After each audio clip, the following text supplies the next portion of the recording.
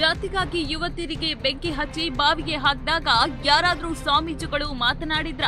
ಕೋಮುವಾದದ ವಿಷ ಕುಡಿದವರು ಎಷ್ಟು ದಿನ ಬದುಕಲು ಸಾಧ್ಯ? ಕಾಂಗ್ರೆಸ್ ಸದಸ್ಯ ಆರ್ ಬಿ ತಿಮ್ಮಾಪುರ ಪ್ರಶ್ನೆ.